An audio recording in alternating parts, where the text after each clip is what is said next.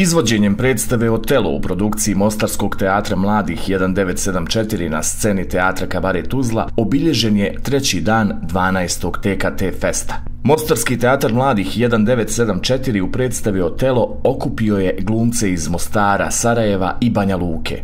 Ja nisam pravio e, casting, audiciju, ali da provjeravam ko je kakav glumac. Ljudi su završili akademije, bave se tim poslom, oni jesu glumci.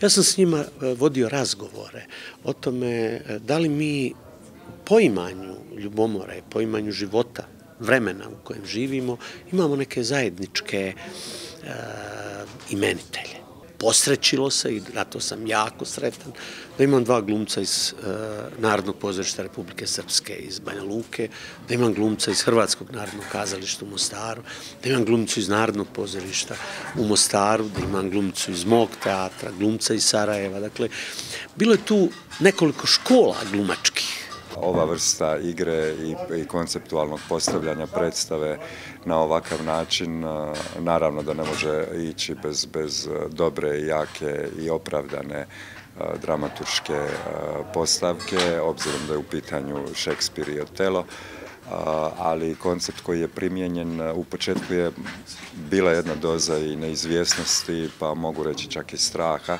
jer je ta granica vrlo tanka između, između prelaska u pravoga Šekspira i, i, i, i te predstave u predstavi gdje mi igramo faktički sami sebe, ali isto tako ne u, ne u nedodiru sa, sa likovima koje je napisao sam Šekspir. Bilo je zanimljivo raditi, istraživati ovaj, lik Emilije i likove glumaca, bez obzira što mi jesmo glumci, negdje smo se trudili da možda pobjegnemo za sekund od sebe, e sad koliko je moguće pobjeći za trenutak od sebe, to je pitanje.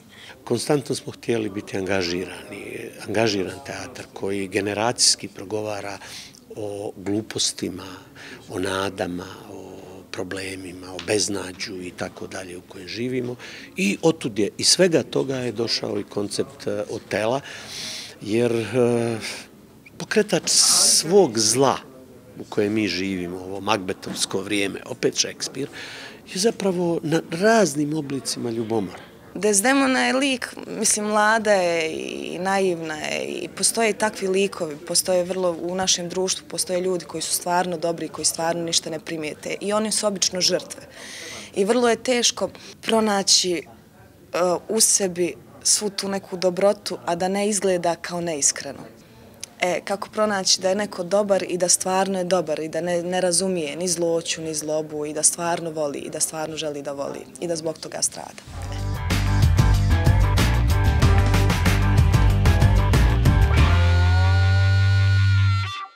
Pa da, ono što je posebno zanimljivo jeste taj koncept koji su napravili, zaista mi, zaista mi se dopada, mislim da je, su dobro savremenili hotela, tu klasično ispričali priču na nama zanimljiv način. U suštini priča je apsolutno uh, interesantna i na kraju krajeva prihvatljiva i jasna publici.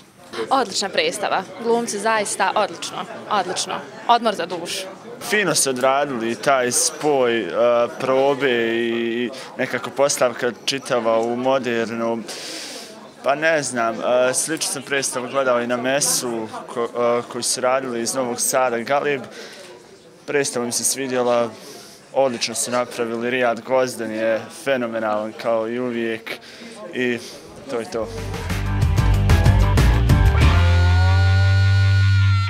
Mislim da je Seja Đulić stvorio jedan, e, jedan, jedan rukavac u celokupnom razvoju Bosansko-Hercegovačkog teatra odkad postoji pa do danas, e, gde je nekonvencionalnost i umjetnička ubjedljivost našli svoj sraz e, na kraj krajeva i u večerašnjem hotelu, on pravi predstavu e, kao igru.